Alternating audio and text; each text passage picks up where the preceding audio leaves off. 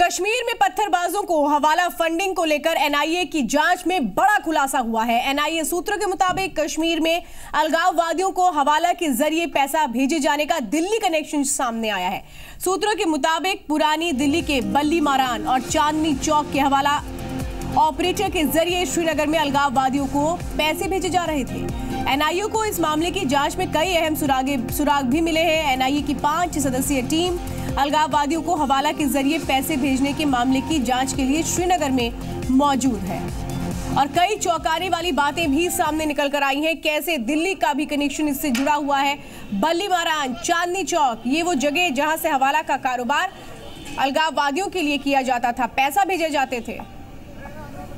तो हालाँकि ये बात बीच बीच में हमेशा सामने आती रही थी कि क्या हवाला के ज़रिए फंडिंग होती है एनआईए को, और आप कई अहम सबूत एनआईए की टीम के पास हैं जो श्रीनगर में मौजूद हैं, लेकिन कौन कौन लोग हैं जो शामिल हैं और हवाला के ज़रिए इस तरह से पैसा पहुँचाया जा रहा था अलगाववादियों तक, ये भी अहम हो जाता है। ये पूरा नेटवर्क कैसे काम कर रहा था? क्योंकि वो जगह ट्रेस आउट हुई है जहाँ से ये पूरा खेल खेला जा रहा था।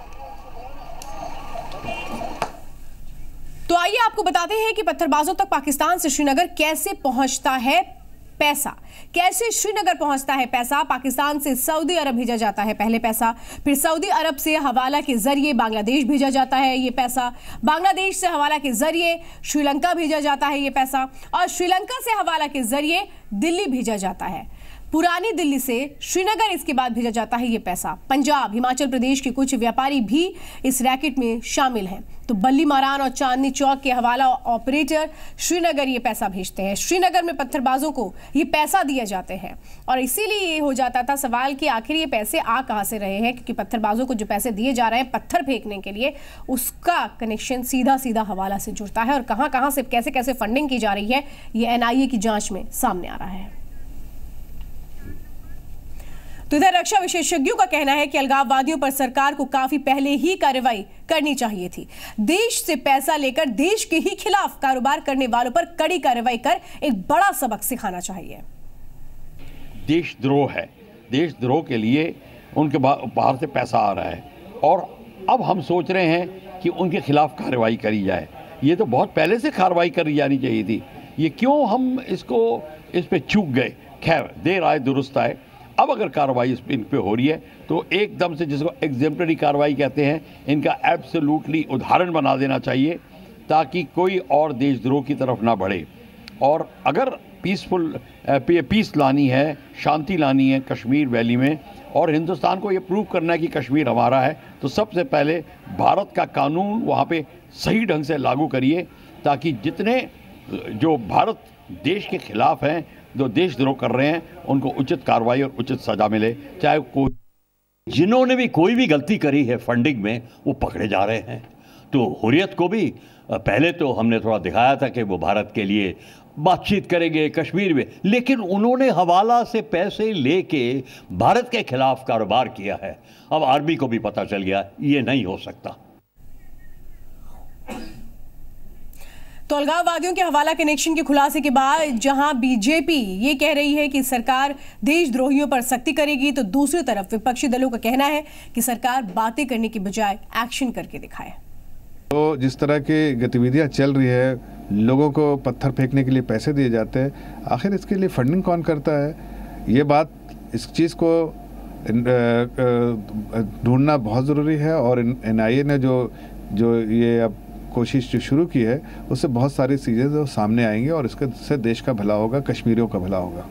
पाकिस्तान तो यही करते रहा है और दूसरे लोग भी करते हैं। तो अब सवाल ये है कि जो बोस्ट कर रहे थे, माननीय प्रधानमंत्री जी कह रहे थे बड़ी बड़ी बात कि हमने डीमोनेटाइजेशन करके और कमर तोड़ दी उग्रवाद की और दहशत गर्दी की, वो कहाँ हुआ?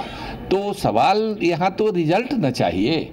यहाँ तो रिज़ल्ट नहीं आ रहा है, बातें तो की जा रही है, जाँच होगा और क्या होगा, नतीजा क्या निकल रहा? है और मनीष है हमारे साथ ज़्यादा जानकारी देने के लिए। मनीष एनआईए की जाँच में बहुत अहम बातें सामने निकल कर आई हैं। ये क्या जाँच में ये भी पता लग पाया है कि जो ये तमाम लोग हैं, वो कौन है? इनको कैसे अब घेरा जाएगा? क्या कुछ अब आगे किया जाएगा? देखिए एनआईए ने तमाम जो इनपुट्स इंटेलिजेंस के इनपुट्स है, उनकी अपनी इंटेलिजेंस है और उन्होंने दिल्ली के, पुरानी दिल्ली के कुछ ऐसे हवाला ऑपरेटर्स की पहचान कर ली है जो कश्मीर में अलगाववादियों को पैसे भेज रहे थे और एक बार पहचान हो जाने के बाद ऑब्वियस है कि उनके खिलाफ और एविडेंस इकट्ठे कर रही है एनआईए और उनको पूछताछ के लिए बुलाया जाएगा। पाँच लोगों की एनआईए की टीम कश्मीर में इस वक्त है, श्रीनगर में। वहाँ पर भी एविडेंस इकट्ठे किए जा रहे हैं। और श्वेता आप जानते हैं कि जब तक फंडिंग पर पूरी तरीके से ब्रेक नहीं लगता तब तक कश्मीर में पत्थरबाजी नहीं रुकेगी और जो पाकिस्तान का लिंक है, उसको पूरी तरीके से काटने की कोशिश हो रही है कि किसी तरीके से इन अलगाववादियों के पास पैसा ना जाए, चाहे वो पाकिस्तानी हाई कमीशन से दिल्ली से पैसे कई बार जाते थे, बांग्लादेश और श्रीलंका के ज़रिए भी, हवाला ऑपरेटर के ज़रिए दिल्ली पैसे पहुँच रहे थे यहाँ से तमाम व्यापारी हैं जो कश्मीर से पंजाब में, हिमाचल प्रदेश में आते जाते रहते हैं और वो पैसे छुपा के ले जाते हैं। तो उन सारे लोगों की बाकायदा लिस्ट तैयार हो रही है। काफ़ी बड़ी इन्वेस्टिगेशन एनआईए की चल रही है और अब आने वाले पाँच या छह दिनों में आपको दिखेगा कि कुछ क्यों मनीष ऐसा आपको नहीं लगता कि ये वाकई बड़ा अहम सवाल होता चला जा रहा था कि ये पैसे कहाँ से आ रहे हैं? अगर फंडिंग रुके तो हो सकता है हालात को संभाला जा सके। लेकिन नहीं लगता कि ये सारी चीज़ें पहले भी अगर इस पर गंभीरता से ध्यान दिया जाता तो आज स्थितियाँ यहाँ तक ना पहुँचती। ये बिल्कुल पहले इस लेवल की कभी इन्वेस्टिगेशन नहीं हुई। सिर्फ़ इंडिविजुअल जो कुरियर्स थे जो पैसे ले जाते थे उनको पकड़ा जाता था। ये नहीं कभी कोशिश की जाती थी कि पैसा कहाँ से ला रहा है और कहाँ को जा रहा है। हालाँकि एनआईए ने पहले भी चार्जशीट इसमें फ़ाइल की हुई है। एक और केस में उन्होंने हिजबुल और हवाला का लिंक निकाला था। लेकिन वो सारे छोटे अलगावादी थे और यहाँ हम्म। अगर आप देखें तो हाफिज सईद से जिस तरीके से कनेक्शन है तमाम बड़े अलगावादी कनेक्शन ज़ाहिर है इसका रिज़ल्ट ज़रूर पॉजिटिव दिखेगा। बिल्कुल मनीष, चलिए आपसे आगे अपडेट लेंगे। जानकारी देने के लिए बहुत बहुत धन्यवाद। तो एनआईए की पाँच सदस्यों की टीम जो श्रीनगर में है, और उसी के बाद अब चीज़ें ट्रेस आउट हो रही हैं। सामने आ रहा है कि कैसे हवाला कनेक्शन के ज़रिए पैसे पहुँचाए जाते थे अलगाववादियों तक, और इसमें दिल्ली कनेक्शन भी जुड़ता नज़र आ रहा है। दिल्ली की पुरानी मार्केट बल्ली, मारान, चांदनी चौक, यहाँ पे कई ऐसे कारोबारी हैं जो हवाला कारोबार में लिप्त बताए जा रहे हैं और अब इनके खिलाफ सबूत भी जुटाए जा रहे हैं एनआईए की ओर से। तो कई बार फंडिंग श्रीलंका से होते हुए भी वो पैसा पहुँचाया गया। दिल्ली, बांग्लादेश के ज़रिए भी पैसा दिल्ली पहुँचाया गया और यहाँ से श्रीनगर भेजा जाता रहा है। और इसीलिए एक अहम सवाल हो रहा था कि इस फंडिंग को रोका जाए अगर हालात को संभालना है और अब उस ओर काम होता हुआ नज़र आ रहा है। बात अगली खबर की करते हैं। दिल्ली में केजरीवाल और कपिल मिश्रा के बीच चल रहे झगड़े के बीच पूर्वी दिल्ली के लोग पिछले तीन दिनों से गंदगी में जीने को मजबूर हैं। पूर्वी दिल्ली नगर निगम के सफ़ाई कर्मचारियों की हड़ताल का आज तीसरा दिन है। हड़ताल के कारण पूर्वी दिल्ली के सड़कों पर कचरा फैला हुआ है। निर्माण विहार इलाके में हालात और ज़्यादा बदतर हो चुके हैं। सड़क का आधा हिस्सा कूड़ेदान में बदल चुका है। गंदगी और बदबू से लोग परेशान हैं। सालों से ऐसे ही चल रहा है एक दो साल से मैं देख रहा हूँ।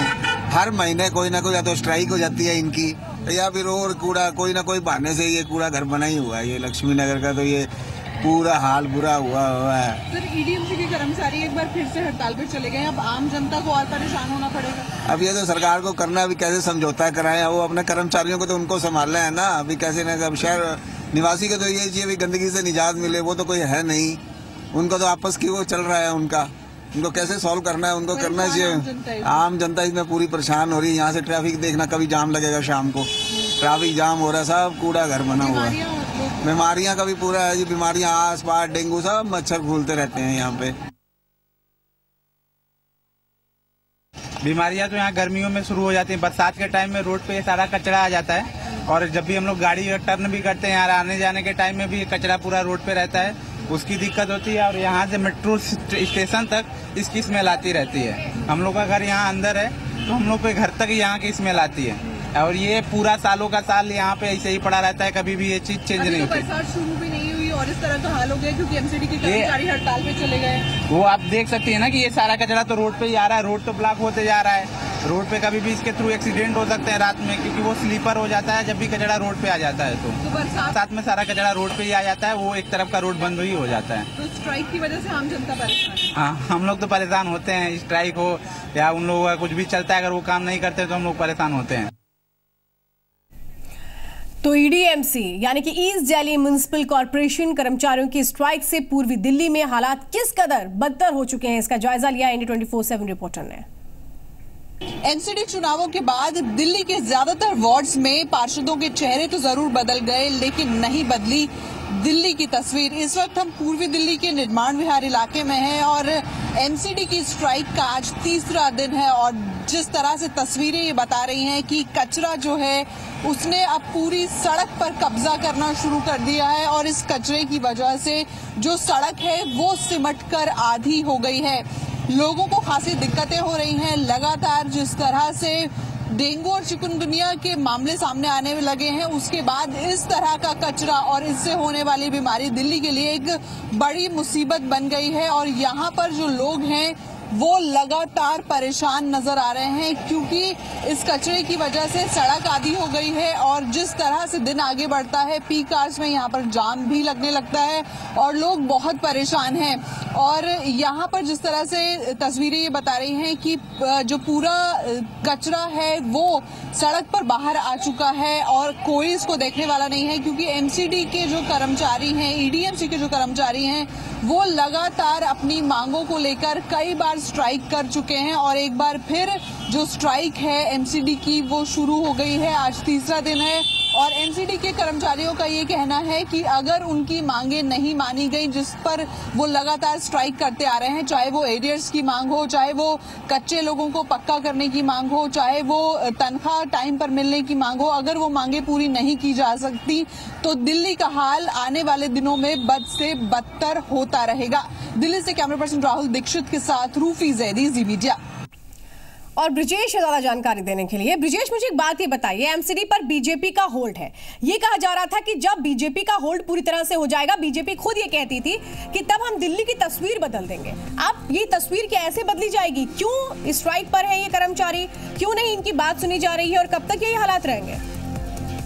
बिल्कुल, देखिए, आपको याद होगा श्वेता की इससे पहले भी दिल्ली में जो है पूरे एक एक महीने तक सफ़ाई कर्मचारी लगातार हड़ताल पर रहे अपनी मांगों को लेकर के जो है और लगातार आंदोलनरत रहे। लेकिन जब जो है एमसीडी के चुनाव आए तब तमाम राजनीतिक दलों ने मुद्दा बनाया आम आदमी पार्टी ने कांग्रेस और बीजेपी ने हम्म, सभी ने हम्म। कहा कि अगर हम एमसीडी पर काबिज होते हैं तो सफ़ाई कर्मचारियों की सारी समस्याएँ और उनकी हम्म। मांगे पूरी कर दी जाएँगी सबसे बड़ी बात यह है कि कई कई महीनों के वेतन इनके अब तक बकाया है इनके एरियर्स के भुगतान हुए नियमितीकरण की सबसे बड़ी समस्या है इस तरह के तमाम ऐसी मांगे हैं जिनको लेकर इससे पहले भी सफ़ाई कर्मी प्रोटेस्ट करते रहे हैं और दोबारा फिर एक बार वो धरने पर बैठे हैं अपने काम से अलग हैं और जिसकी वजह से ईडीएमसी के हालात बेहद खराब होते जा रहे हैं कूड़ा सड़कों पर पसरा पड़ा है। सबसे बड़ी बात इनके हालात को संभालेगा कौन? नए मेयर बनते जा रहे हैं नए मेयर शपथ ले रहे हैं। अब उनके पास ज़िम्मेदारी होगी कि किसी तरीके से इनके भुगतान किए जाए लेकिन ईडीएमसी की वित्तीय हालत सबसे ज़्यादा खस्ता है। ऐसे में इनके भुगतान समय से हो पाएँगे, इनके एरियर मिल पाएँगे, ये बड़ी समस्या है। क्योंकि अभी भी दिल्ली की सरकार में केजरीवाल काबिज है और केजरीवाल लगातार एनसीडी के फंड को रोके हुए थे, इससे पहले भी। अब और इसके बाद भी यही सवाल उठ रहे थे ब्रिजेश की बीजेपी का होल्ड तो अगर हो जाता है एमसीडी पर तो क्या ये इस तरह के मन मुटाव नहीं देखने को मिलेंगे? क्या काम प्रभावित नहीं होगा? क्योंकि एक तरफ़ अरविंद केजरीवाल है जो इस बात को कहते हैं कि एमसीडी हमारे अंडर में नहीं आता है लेकिन फंड कहाँ से दिया जाएगा? क्योंकि सीधे सीधे एमसीडी जिसके अंदर में आता है अगर वही नहीं इन चीज़ों को समझेगा तो फिर कहाँ से ये काम आगे बढ़ेगा? जानकारी देने के लिए बहुत बहुत धन्यवाद।